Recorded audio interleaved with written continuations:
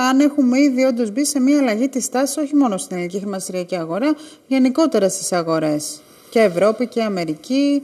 Ένα σχόλιο για όλες τις αγορές, όχι μόνο μετοχών, ε, ενδεχομένως και ομολόγων και ισοτιμιών ένα, ένα πλήρες σχόλιο.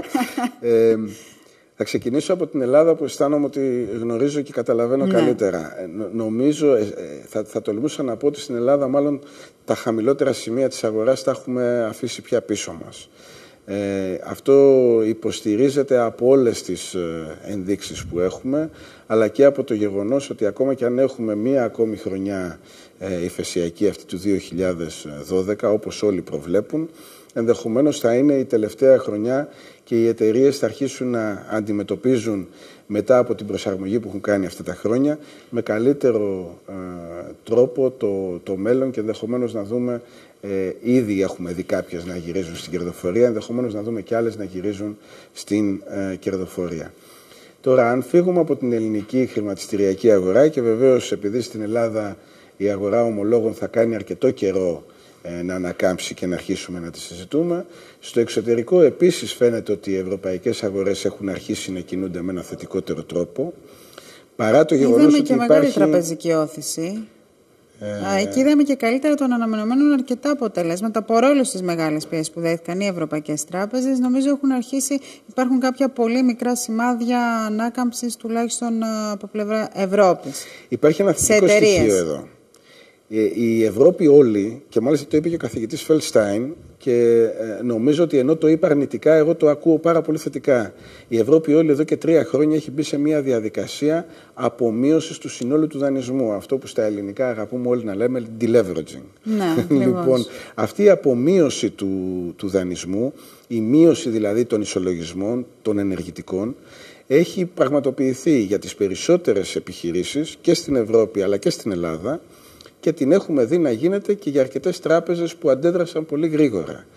Αυτό απορροφήθηκε από την ευρωπαϊκή οικονομία και παρά το γεγονός ότι δεν βλέπουμε αυτή τη στιγμή ενισχυμένους ρυθμούς ανάπτυξης, δεν θα μου κάνει καθόλου εντύπωση το 2013 να είναι μια μεγάλη έκπληξη η Ευρώπη για τον κόσμο.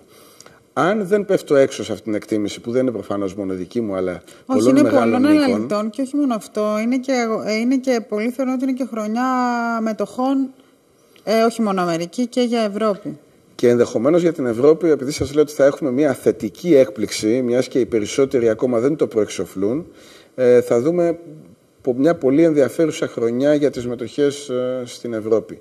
Ο δε τραπεζικός κλάδος που έχει πληγεί σε πολύ μεγάλο βαθμό σε όλη την Ευρώπη έχει νομίζω ε, αρκετά μεγάλα περιθώρια όχι ανόδου λόγω εντυπωσιακής κερδοφορίας αλλά επαναπροσδιορισμού και επαναπροσαρμογής στο ότι αυτές οι, οι εταιρείες, γιατί και οι τράπεζες είναι εταιρείες, έχουν μια συγκεκριμένη αξία την οποία δεν μπορεί να την απομειώνεις κάτω από τη λογιστική αξία σε βαθμό 40 και 50%. Μην μιλήσω στην Ελλάδα που είμαστε στο 5 και στο ναι. 10% έτσι. Ωραία, άρα βλέπετε ξεκάθαρα αλλαγή τάσης. Ναι, κρατώ μια για την αγορά μετοχών. Κρατώ μια επιφύλαξη. Για τις μετοχές είμαι πολύ θετικός. Κρατώ μια επιφύλαξη για την αγορά των ομολόγων. Νομίζω ότι και στην Ευρώπη και στην Αμερική το κυνήγι του ασφαλούς καταφυγίου έχει οδηγήσει σε τρομακτική μείωση των αποδόσεων για τα μακροχρόνια ομόλογα και είναι για μένα ζήτημα χρόνου να αλλάξει αυτή η διάθεση στις αγορές, να αποκτήσουν οι επενδυτές μεγαλύτερη διάθεση να αναλάβουν κίνδυνο και ως εκ τούτου να καταλήξουμε σε πτώση των τιμών των ομολόγων. Άρα δεν θα ήμουν ε, υπέρ των ομολόγων, ειδικά των μακροπρόθεσμων εννοώ από 10-15 χρόνια και πέρα. Πάντως ξεκάθαρα φαίνεται μία τάση για προτίμηση σε εταιρικά ομόλογα. Στο εξωτερικό, ειδικά Αμερική, πάρα πολύ έντονα. Σαφώς γιατί έχει ήδη ξεκινήσει ναι. το επενδυτικό κοινό να μην ικανοποιείται από αυτές τις πολύ μικρές αποδόσεις που δίνουν τα κρατικά ομόλογα. Το πρώτο βήμα λοιπόν είναι να πάμε σε εταιρικά ομόλογα υψηλής διαβάθμισης, τα οποία προσφέρουν καλύτερη απόδοση από ότι ένα κρατικό ομόλογο της ίδιας διαβάθμισης. Το επόμενο βήμα θα είναι να αρχίσουν οι επενδυτές να ζητούν λίγο μεγαλύτερο κίνδυνο και έτσι να μην παίρνουν μόνο 3α ή δύο α εταιρείες, αλλά να αρχίσουν να αποκτούν ομολογίες και εταιριών χαμηλότερης διαβάθμισης και αυτό σιγά σιγά θα διαχυθεί σε όλη την αγορά των ομολόγων. Μοιραία λοιπόν η μετακίνηση των κεφαλαίων πιστεύω ότι θα οδηγήσει σε αύξηση των αποδόσεων, σε ομολογίες που τώρα ε, παρουσιάζεται το φαινόμενο ε, ακόμα και να πληρώνουμε ένα κράτος. Ακριβώς, ε, το είδαμε ναι, ξεκάθαρα στη Γερμανία. Δηλαδή είναι εντυπωσιακό. Ναι. Πληρώνουμε για να δώσουμε τα ναι. χρήματά μας. Ε, τώρα σχετικά με τα εμπορεύματα, Χρυσό το βλέπετε να συνεχίζει να πρωταγωνιστεί; Ο Χρυσός είναι μια πολύ ενδιαφέρουσα, ε, ε, ένα πολύ ενδιαφέρον υλικό για μένα. Δεν κατάφερα ποτέ να το αποτιμήσω χρησιμοποιώντας θεμελιώδη στοιχεία. Και δεν νομίζω ότι είμαι ο μόνος που δεν το έχω καταφέρει αυτό. Γενικώς ο Χρυσός δημιουργεί ε, μια ενδιαφέρουσα αίσθηση ως ένα, θα έλεγα, ως το βασικό νόμισμα που θα μπορούσε να σταθεί κανείς. Και νομίζω ότι αυτή η τάση, η αυξημένη ζήτηση, έχει δημιουργήσει αυτή την άνοδο της τιμής.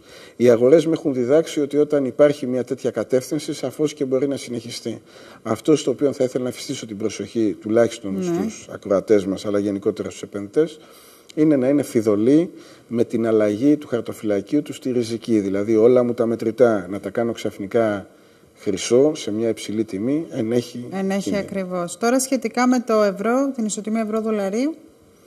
Όλος ο κόσμος περιμένει και μάλιστα ήμουν σε ένα συνέδριο πριν από λίγες μέρες όπου οι, οι, οι συνάδελφοι από την ΑΠΟ Ανατολή όταν στη συζήτησή μας τους ρωτούσα η, η, η, αποτίμηση την οποία συζητάτε, τη συζητάτε σε ευρώ ή σε δολάρια, μου έλεγαν όλοι την ίδια ακριβώς απάντηση, ότι για μας το ευρώ και το δολάριο έχουν ισοτιμία ένα ε, είναι μια πολύ ενδιαφέρουσα ναι. προσέγγιση που έρχεται από πολύ μεγάλους οίκους Μέσης και από Ανατολής ε, και νομίζω ότι η, η, αδυναμία, η αδυναμία του ευρώ δείχνει ότι θα μπορούσε να συνεχιστεί. Προσωπικά δεν πιστεύω ότι θα δούμε μια τόσο μεγάλη απόκληση για έναν ουσιαστικό και θεμελιώδη λόγο.